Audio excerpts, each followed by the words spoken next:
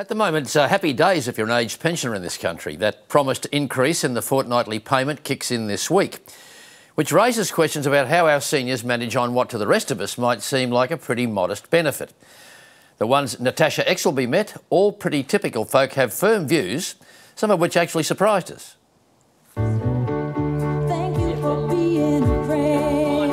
This week marks two years since uh, this Labor government introduced major reforms to Australia's pension system, a very significant increase in the pension of $148 a fortnight. The latest increase means single pensioners will receive $374 a week and couples $564. Is that enough for you to live on?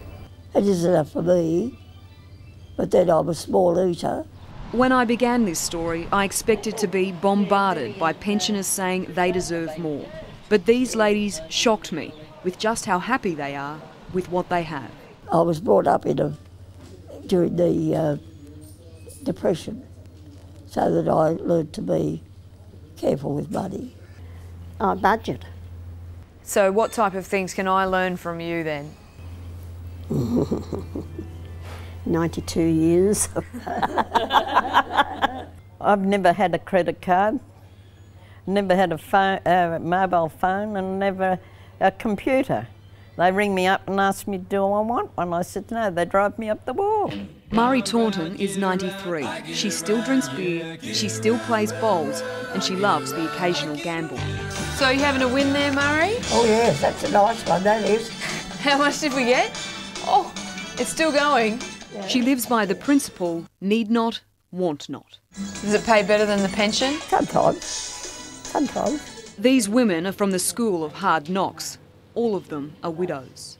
He dropped dead one day, and that was it. My son has had a stroke and had a heart attack and, and is a diabetic. And here's why they probably survive just fine on the pension. And when's the last time you bought yourself a new outfit or something for yourself? Ah, uh, for myself? Oh, well, last year I bought a top.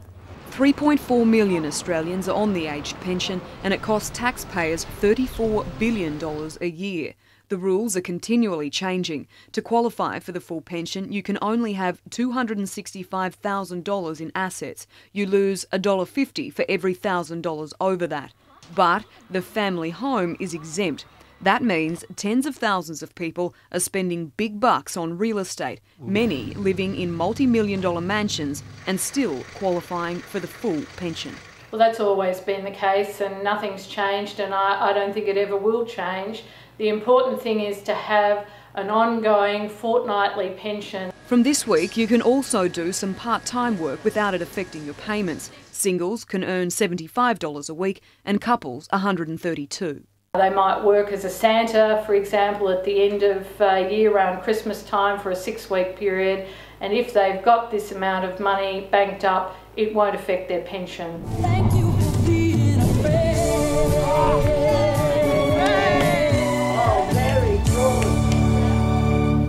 think we can live and learn from those guys.